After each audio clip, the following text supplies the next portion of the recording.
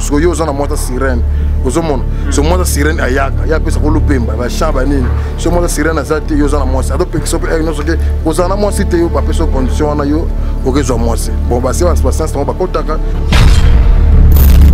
me ntango yo ozwi mwasi ya sirene bapesi okondition ke kozala na mwasi mosusu te yo kozwa mwasi mosusu otye na ndako makambo nolya oyo basi erreur ezali na place wana ere eza place wana mosala nzambe azalaka na ye te 100 okozala mpe 5 nayebisa yango chaque fois bango 95 to etikali bakotaka makambo azalaki na sirene na ye to sirene wana supporte trop ye tofanda mwasi na naye mpaza mwasi apesaka olupemba ye aza no sirene apesaka olupemba bachance banzembo na oyembaka makambo na efulamaka banzembo nde yaka inspiré par le saint esprit ah, papa kolanda biloko wana te par le saint esprit hmm. biloko wana kolanda bango te eza lokuta de ndenge aza mwasi nyonso akobala susu akokende kaka oh. loba nde atika makambo wana mais sizozo vérité topekisa ye mabala lisusu na mboko te ah, jabe si akobala na yesu te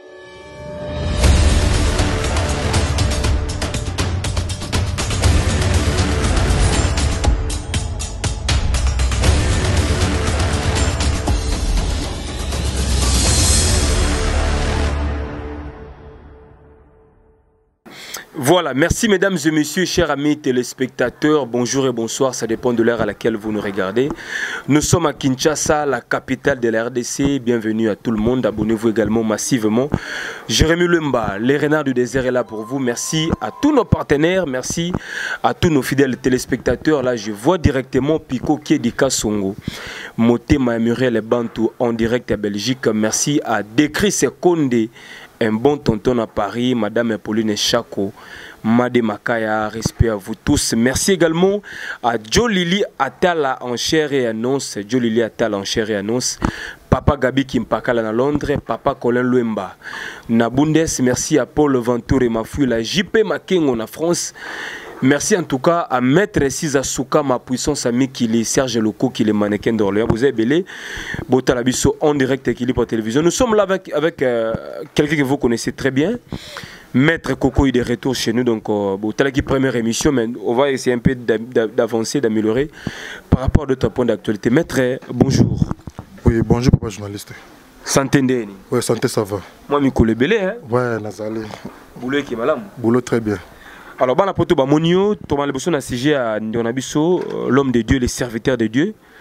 le tout puissant chanteur Matou Samuel oyo ayembaka mizika bien nzambe bato ebele babongola mitema na banzembo na ye me likama ekomelaki ye mwasi na ye mama kapi auta kokufa eza lokola troisième femme na ye ya ndako akufa yo etanke humain etanke spirituel ntango okaki message na esalaki oyo dabord ndeni bon eloko moko na regretaki nango bamusicien lelo surtout oyo bayembelaka nzambe Hein? batangaka nkombo ya maître jésus bayembelaka nzambe balingi bikota kota ya buzoba trop bikota kota da quel sens place oke kota bapesa yo nano mwasi ya sirene ozala na mami wata no vivaka na ye yo ozwi mami wata mami wata aza na moto azuwa mpo aza mwasi aza mwasi aza esprit ozolanda yo ozwi ye bozozala na ye sikoyo ozosi mwasi mosusu otie na ndako mwana mwasi soki mami wata soki aza na posa na ye akosala zuwa te kasi akozwa mwasi wana akokende ti yango mona tokofelaka basi ya de beaucoup de musicien bazwa basirene bazozwa basi basirene na ndenge mabe yango bazoliaka bango basi c'est ça donc eza kibombanda entre mami wata na basi na bango ndako eza mami wata na mwasi ya ndako parce que mwasi moko te akolingaka azala na mbanda mbanda na mbanda balinganaka te keso baliaka place moko keso basokolaka place moko ofandaka ndako moko ebeki mabe moko ezalaka na kati me butu yo mobali to mwasi ozoboma mwana mbanda okozalaka na haine moko na motema mm. ah, mwana bari olokosaka kolingaka keto na motema eza nango ozomona losiko yo oza na mwasa sirene ozomona hmm. so mwa aza sirene ayaka ye apesaka olopemba bachan banini so mwa aza sirene aza te yo oza na mwasi azopekisa mpe nyonso ke kozala na mwasi te yo bapesi yo condition wana yo okezwa mwasi bon basi basianse yango bakotaka hmm. biso na gane dangereux biloko wana ezalaka te topesaka moto ni sirene mpo sirene aza zuwa wi sirene aza invoka to invoka ye mpo aza demo ya mai ozolanda mm. mais toinvokaka ye bien si mpe mpa na biso na kanisi toinvokaka ye mais ntango yo ozwi mwasi ya sirene bapesi yo condition ke kozala na mwasi mosusu te mm. yo kozosu mwasi mosusu otye na ndako bakana olia yo basite erreur ezali na place wana erreur eza place wana ye sikoyo mosala ya nzambe akozala mwasi ya sirene ndeni mpo banzembo ya ye mbaka bato ebele babongola mitema na nsima banzembo na ye mosala ya nzambe azalaka na ye te si 100 pourcent okozala mpe 5 pourcent nayebisa bango chaque fois bango 95 pourcent to etikali bakotaka makambo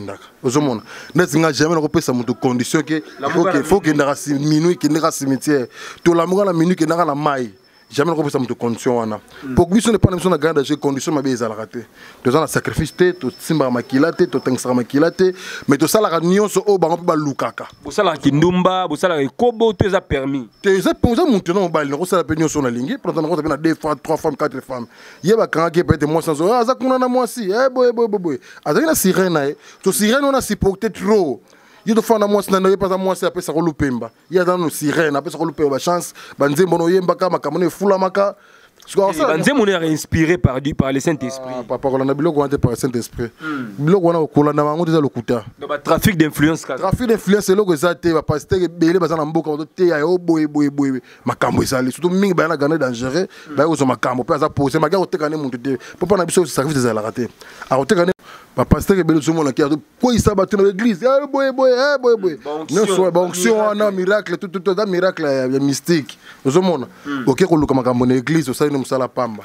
ocomprendre eh? po paster na nzeli ndenge aza wana po akoma na riche fo aluka na makambo azwi na makambo efuli ye bongo bénédiction ya nzambe ezalaka te te bénédiction nzambe ezala nzambe apesa ja bénédiction nyonso déjà hmm. ntango ntango nzambe asala yo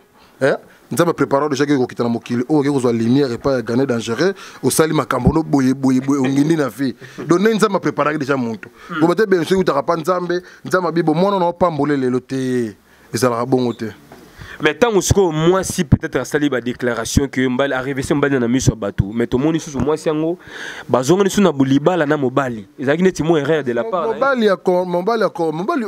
okokuta yoka okokuta mobali mwasi yango okuta na mwasi na mwasi mosusu hmm. okompa mwasi na olingaka mingi ah te chéri tala boye tala boye tala boye tala boye mais fin de fin mwasi wana mpe akei na kanda akolia yo kaka po aza na osirene aza esprit yo otikali boye oza na eloko te na motakala me ye aza sirene okutaki bango osambusi ye azongi ne deuxième monde to azongi ne na mai po mai mpe deuxième mpe eza na mai azongi ne na mai o comprendre mm. mais yebaki atikali na keto na motema na ye mpo aza sirène fin de fer biso opesanga mwasi na yo fin de fer mwasi akei de ndenge aza na mwasi nyonso akobala susu akokende kaka oh. loba nde atika makambo wana mais c'est une vérité topekisa ye mabala lisu na mboko te ah, jabe si akobala na yesu te Ah. na bese akobala so te so akobala abala ata étrangère mpo bacongolaise bakufi mwa trop bacongolaise ata bala étranger sirene wana bayokana na mwasi wana akobala ayebaka deke nazala na mwasi nanga boye boye jour akoya boye auta mai akoya yo kozala na ndako te ayebisi verité ah peut-être bongo c'est ça mm. ah. Ah, eza makambo eza makambo ayebisa mwasi wana naza site na congo awa ah, mwasi nyonso akobanga loba zo étranger moko atie na ndako apres mwasi yango sikoyo fo yebisa verité ke non sirene nanga yaka oyo apesa nga lupemba epesa nga inspiration koyemba boye boye boye boye boye le jour akoya na fo voyage voyage no nanu sirene toza na reine na ye so akozonga mais baki ata si aye sirene akoyeba ke mwasi azangi na ndako wana ayaka na kanda eh, donc ayaka na kanda mhm. ano na kanda parce que nano oyoka tiki mobali moko aza na mbongo ebele abota te aza na mwasi te mhm. ozomona azalaka ye eh, moko eromoka bima na basi mosusu ya libanda mais na mhm. ndako na abala te eloko moko te ni mwana eloko moko te eza bakonso ya sirene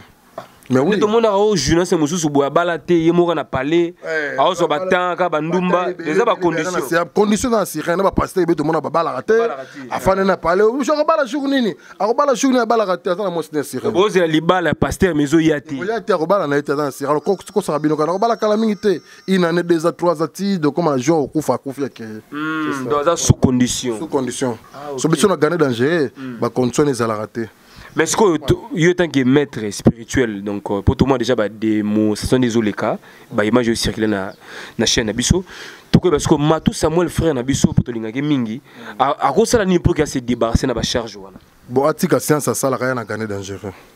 aye mpa na biso mais eza lokola okimi mbula okende ebale ti mpo na biso eza science mosusu biso eza gane dangereux hmm. ocomprendre sans condition sans problème oye ozwi makambo no sans problème asala ah, succès ne normal succès ne normal po asala fo azwa lumière oyo ebina oyo ebina lisi fere awutaki na lola te ange azalaki ange ya nzambe akiti na se azwi pouvoir wana mm. azwi succès wana aza kimia makota ndenge ya kindoki te parce que bato mosusu basangisa magie na kindoki ozo comprendre bazwi magie basangisa wana kindoki na kati bamopesa to makambo avec bacondition mabe avec basacrifice mpo mm. na sacrifice wana yango akoteka to mm. yango akolia ti po aza ndoki déjà ozomona so aya sikoyo epai na biso akotanga bible mpenza ya bible alata bible makambo eza na kati donc un temps c'est ça oui oui voilà wana je pense kopesi ye conseil merci à mami kati toko qui nous regarde depuis quelque part merci à bertoni makoe général Star Plus depuis Canada, donc Bertoni Makoe. Merci pour le grand travail que tu, tu es en train d'abattre. Donc, Caro Caro,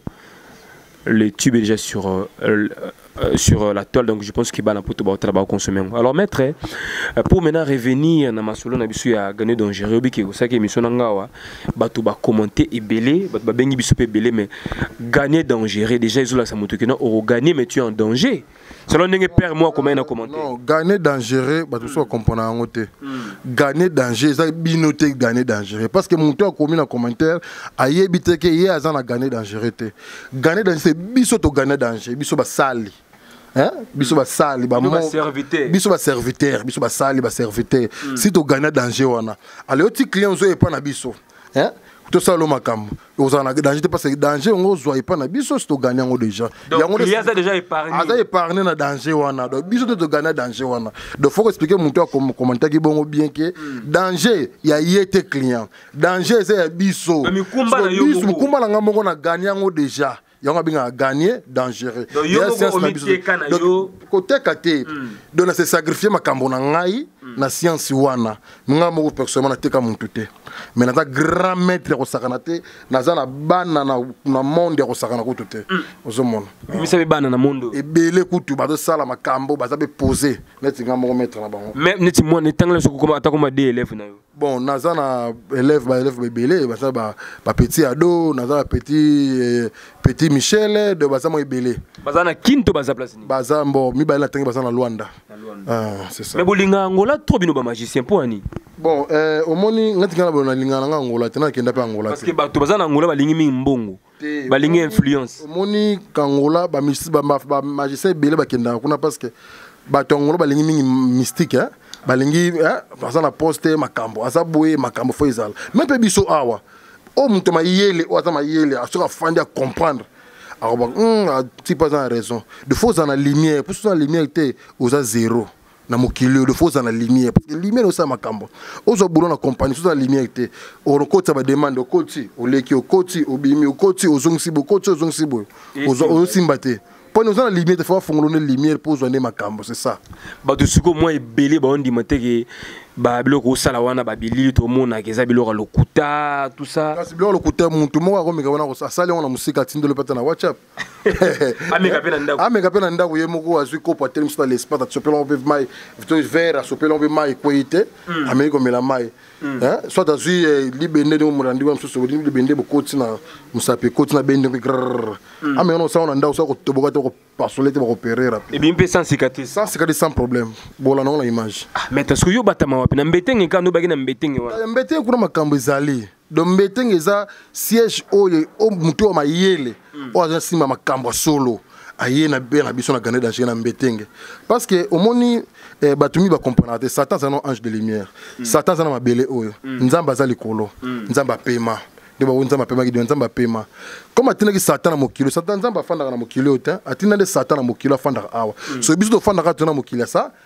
ya satan ozo comprendre te mokili ya ye moko nkolo eh, nzambe asala déjà mpe soko satan makambo ya kofanda awa mm. avec lumière yenesco adomine adomine parce que satan na lumière awa mm. de soko kopeke satan fale adomine soki ozo na mokili okolanda na olanda satan ti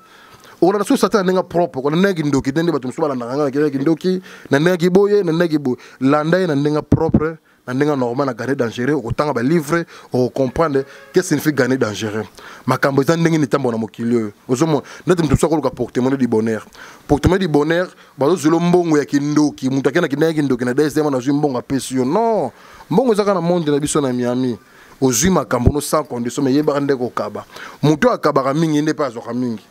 ozomona nde tobengaka ko mwana atindamaka mingi ye mpe azwaka mingi aliaka mingi okomprendre hein? azolia mingi do nde motu akabaka mpenza meme kifua normal boye mm. na ndenge kimisteki te mm. soki okabaka mingi osungaka mingi libota osungaka mingi bandeko bacamarade bamerci wana ezopesa olupemba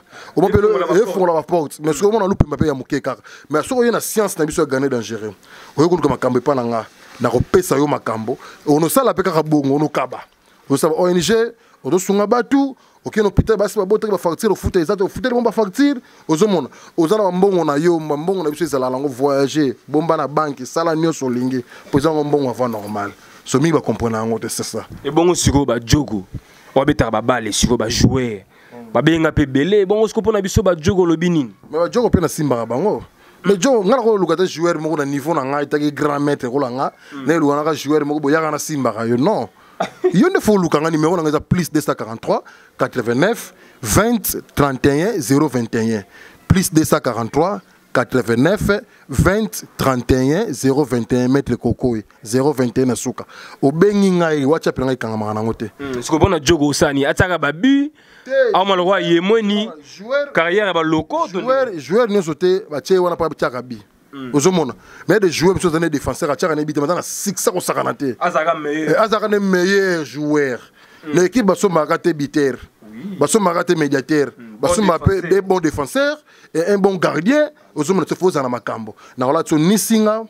ni eloko okolatisa yo te na nzoto na yo mais ozo soki na pouvoir mpona baposo biloko otangaka babiloko basene nseki tozotanga wana ebelisaka bato maboma biloko yango yango wana eh, ebelisaka maboma te biso trouble kiol biso maboma ezalaka te okotuna moto nyonso asimbi makambo lepa na nga hmm. abela liboma te nakotangela ata moko moko baza moke kutu ah, otanga mosusu akombo na bosana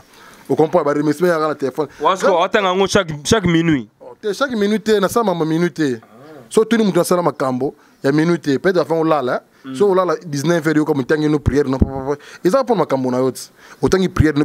bomonaka te bachrétien bazalaka fa alala fa asambela mm. ava alala asambeli ti ava alamuka se biso mpe ndenge ezalaka ozwa baprière na yo mosusu eza kutu omédite oza na motu na yo ntango olamuki ofai na mbetu osali prière na yo obimi omaka lumière ezolanda koka heure nyonso lupemba okende bulo boyoko lelo bamaiti yo grade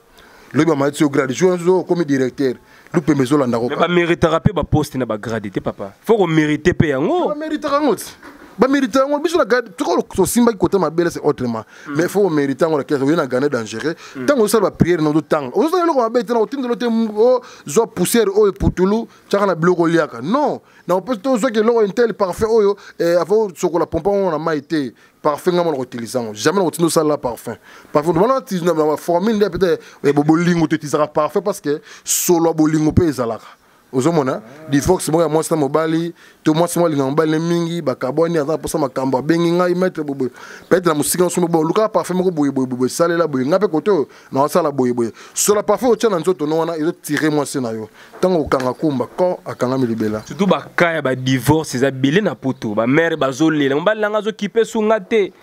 akoyo matata o oh nonga kuna azosouffrir baka wana ezoya siko trop maître mais nazosilisa yango ebele deja nasilisi baka wana ebele eh, basi ebele babenga deja mibali ebele babenga deja surtout mingi moni yango na mibali mibali mingi na poto bazolela to ah, nga mwasi tosala divorce mwasi akenda mm. naza mposa azonga nasaleli yo makambo azongi mm. nasaleli makambo azongi mm. mingi nazomona yango mibali par rapport ya basi eh. ah, namona mingi na mibali basouffrir trop po namonaka na poto basi nde banyokolaka mingi mibale hmm. bon aya balembisanga bazo bazolanda ngai hmm. eh, na ndenge mabe te ndenge na remarka eh, d'une manière générale ekoma bongo baka wana eyelaka nga trop mobali moko abengi na lela mwasi na nga forme tala mwasi na nga lelo kotoswana lobi te eh, boyeboye tokabwani kimia na bolingo eza te na ndako boyeboye na kosala makambo na nga papa papa asomba kumba moni bolingo yango boboti deja ale na niata bino ka libela bofanda libela bokomi bakoko ale tiki bukoko na bino moto akobima libanda aza te jusqu'à l'infini mama mama mobali akobima na ye peut-être mais mwasi mwa bouge eza ta fandi wana libela akona bolingo solo ya mobali na ye esili c'est ça voilà merci à decris konde un bon tonton à paris made makaya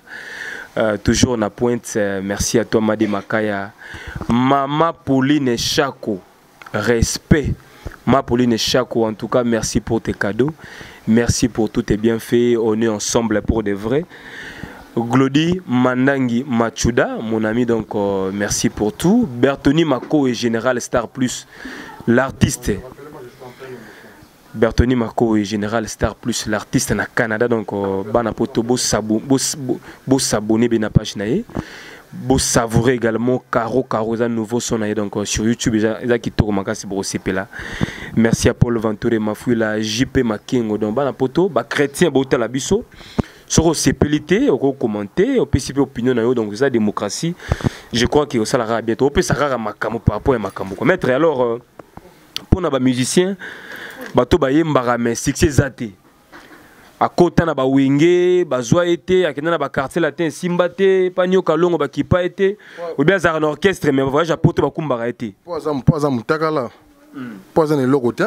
il faut ye azwa makambo mpo wana okendaka mpe poto yango Mm. bamemaka ye akende mise ntela azwi ye akende bo bazwi ye akende bazwi ye mise babimisa ebena si basonga nsima bagrand musicien mm. eya te oyebi no koyemba te oyebi ne mosala te nasimba yo kaka papa oyebi obeta bale te oyebi joueur oyebi mpa na ngai nasimba yango simba oyebi bino obeta bale te neti ngai boye personnellement metre kokoy nayebi nango kobeta bale te hmm. nabetaka nango bale te soki soki bino nazwa makambo na ngai moko nakoti yango na bale omitana kosala na ngai eloko te likambo ezalaka fo ozala nano na talent talent fo ozala volonté na yango hmm. oza na volonté bina ya musique oza na talent ya koyemba ntango napesi yo makambo ata oke partout ofulami hmm. ofulami hmm. ofulami makasi c'est ça alors kana biso ba chroniqueur ba journaliste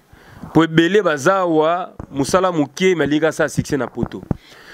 bachaîne ebele ya youtube bamosimba bakisi mpo bareussi tout ça alors mpona baka ya bajournaliste okoloba nini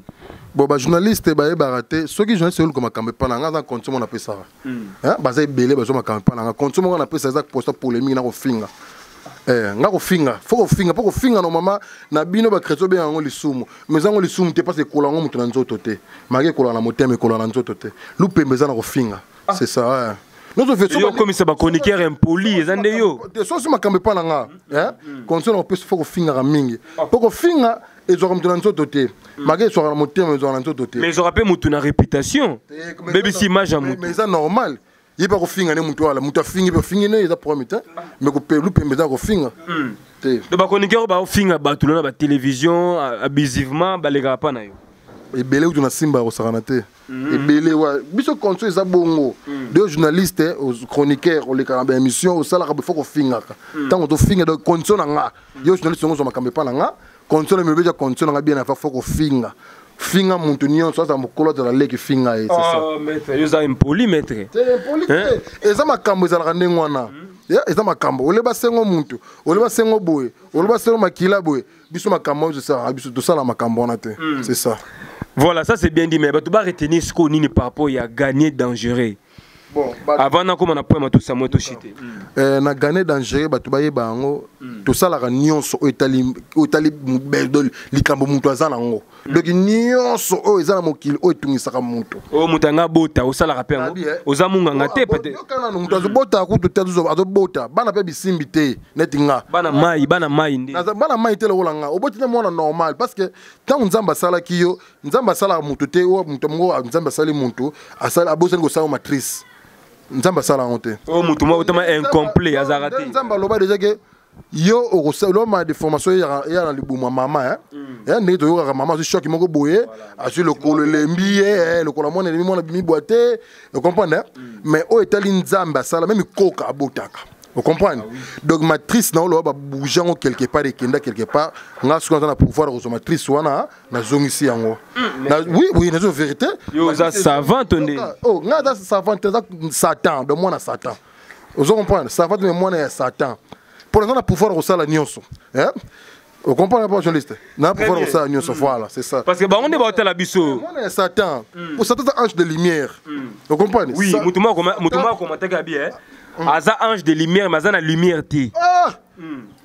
nabi eh? mm. yo lelo sata aza na lumière te banda koluka mosala awa ozanga na lumière te obandi koluka mosala kendaka zongaka kendaka zongaka eso oza na lumière okendeka mbala moko okotisa demande ozwi mosala omeso vete pas chômage na konje partout meme na poto bato bakemba koluka boulot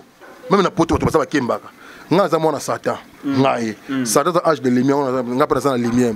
mais bandeko na nayebisa bofo bozalaka na lumière mm. ngai moko nasimba lumière bandeko na ngai eza na ndeko na ngai moko alingaka lumière te yango atikalaka bongo kaka c'est un chauffeur simple azalaka chauffeur taximan taximan po azali na lumière te ye soki olinga akoma nani chauffeur ya nini bagrand car te bagrand car te aza na lumière aza lupemba akota ba présidence akota na ba ministère présidence nini ezangi aza ye akumbaka motuka nde mpe nde mpe akumbaka motuka soba basala na présidence nini ezangi bango Hmm. que bazaka ndenge moko ti lumière c'est ça nga aza mwana satan mais est-ce que lumière ngo eza dangereux sila hmm. nga aza na mwana satan hmm. nga mwana satan aza na lumière nasalaka napesaka nyonso oyo etani eza na ta lumière mbongo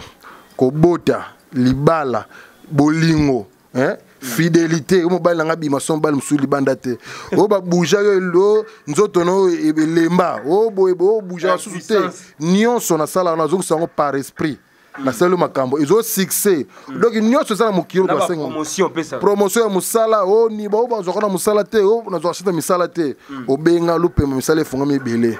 okomprendre osala makambo tala boye tala boye ozwi lupema makambo ebele wende efongameli yo parce que na gane dangereux tout est possible hmm. okomprendre mazembe kaka tout est possible tout est possible tout est possible nso vérité na gane tout est possible parce que ni toza na kindoki te na kati mm. omoni mpo kindoki ya kindoki eza na masumu mpo satan azali na ndoki te satan aza esprit okopo aza lumière ozomprendre mais siko lumière noni ezalaka na durée nango peti mpo moto akozwa mpe lupema mpa na yo mais après 6 ans akwei na ye eh, abambi ne mpe mbati nakopesa portemone du bonheur hmm. ebimaka mpanda 4 mo ebimisa ocharge 1000 dollar to 1000 euro mbongo ozo ebimolo wana nayo biso verité ngai abisaka moto verité omoni ape 4 mois 5 mois ekobima su te moni ndenge mozwili mbongo wana banda kogere gere mbongo no bien soki oboyi na kogere mbongo no bien olieno mbongo no nyonso to okwei na yo koloba te ke mystike nde ekweisi mbongo na yo hmm. oyebaki nde gerance te tomonaka yango ebele eh, motu moko azalaki na mbongo ebele ati mpo na koye alandaki nini ambiance basi kidikidi yo olobi ke fo il faut nini sadaka sadaka sadaka elobi te sadaka fo kaba mbongo nyonso ke ozwi patable 5000 dollars bina porte moi liboni na yo ozwi 5000 dollars nyonso ozwika 1000 dollars obombi 4000 okesala sadaka non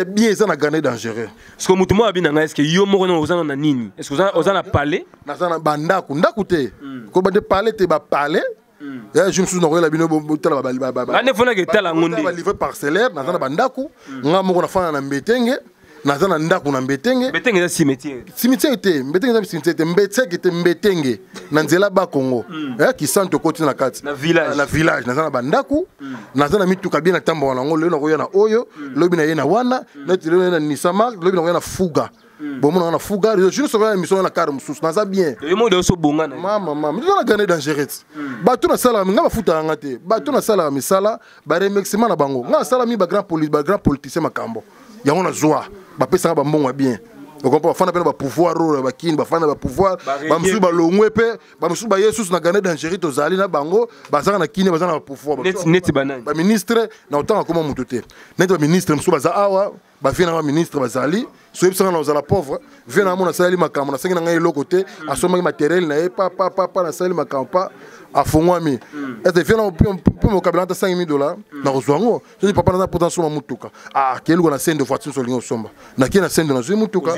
nape apesi ngai mpo naza batemoignage ebele parceke bato balobaki non maître c'est vrai que mpo mosusu baodoute baobengaa nga batuna mais sikoyo mpo na bato balobaki non maître oza cher par rapport ya ba ndenge ozosenga bato ba prix oyo azomona yango sikoyo cher okobisa bango nini bon eh, likambo cher eza wana te eza likambo boye eh? hmm. ngai naza nganga te biloko nasalaka nasomba wana mpa monseigneur eza eutaka italie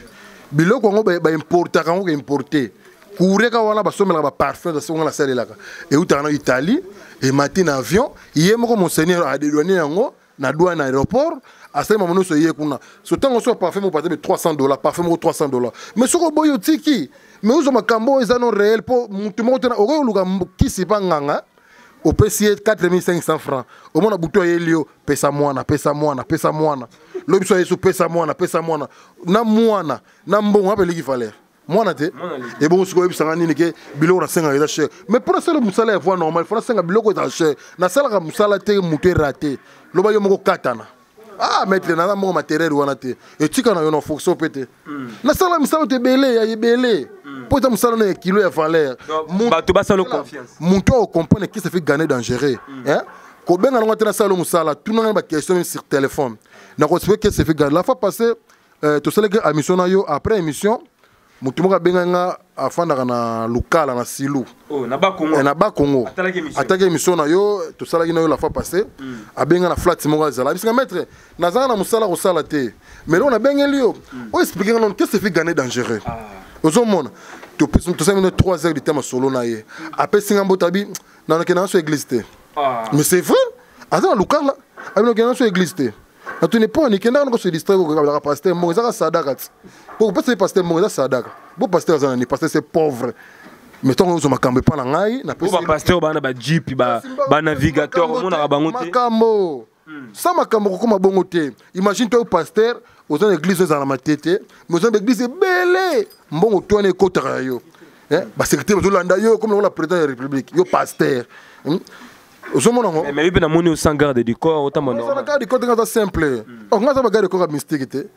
ah, donc na babisimbi na nsima na yo bamilimu baza pembeni na nga bazosacrifie nga babikeki o grand maître aza représentateur satan na monde visible boye tozomona boye bazosacrifie mais tomoni yo ata nzambala te kitendi ya rouge te makila te oyeka na bajini boye grand maître naza nganga te naza nde naza magicien ozomona mm. ndola asalaka mama mindele jamais omona david comperfil mm. asa makambo moko boye alata nzambala mm. wana katier so tobunda c'est normal ata nzambala pata katier azobunda ye mosusu mwa spectacle c'est normal dame omona david comperfil asala spectacle moko place moko boye alata nzambala moko boye ya rouge tokanga kite na rouge na motu na ye kite na rouge esalaka eloko te eza na eloko moko te kitenda rouge oyo bomonaka wana eza na eloko moko te makambo eza nde na nzoto ozomona me bademonstration bozolakisa bozolekisa awa ngai nabisaka bato verité démonstration vraie démonstration ezali salela motu makambo motu amona réalité mm. ozomona sala motu makambo motu amona réalité ah maître nasalema osalaki makambo maître femme na ngai azongi na palais maître namoni kanti na mbongo na ndako maître namoni ah bloki wana bimi wana mpo bokolanda bolanda demonstration moko na bimisaki 50 000 dollars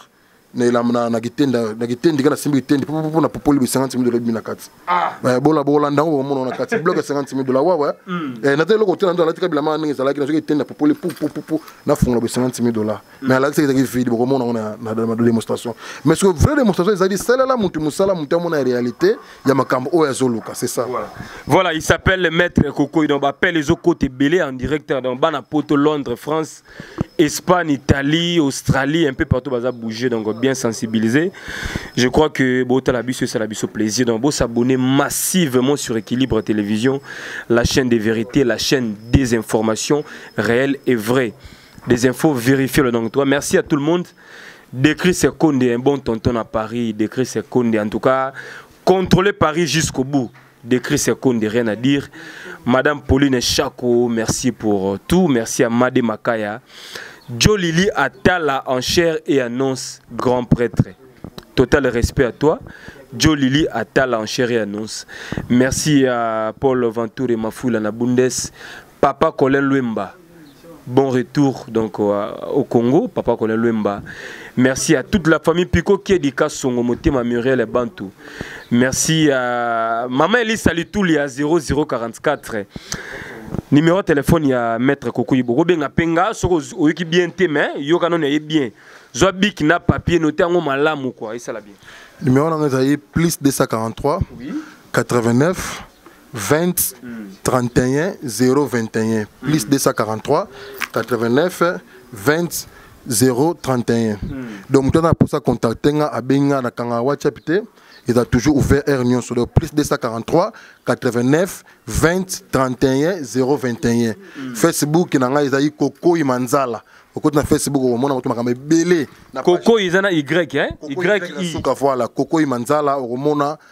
mambo eza ebele kuna naloba ebele ebele na facebook na publie pube ebele mm. okomona mm. biso siège eza na mbetenge mais polema naza na kindi awa na pour 3 mois mais siège eza na mbetenge mm. oyo likambo ezali ta bobenga posenga baquestion nyonso bete journaliste apose baquestion mosusu te yo oza na mosika oza na maître koko yango bakesi fi gane dangereux pourquoi pourquoi eh, eloko nyonso ezalaka na sacrifice na na nini na sacrifice toloba mm. bon mpo na na biso sacrifice ezalaka te mm. bengaka koexplike mpenza bien bien ndenge explike awa pourquoi boye pourquoi boye pourquoi nde bamingi na biso basalaka babengaka mpo azwa baréponse mosusu obengaka na whatsapp na koexplike que ça fait gagner dangereux c'est ça voilà merci beaucoup bon week-end à toi maître hein. ok merci beaucoup mm, donc merci à Stella Lubaki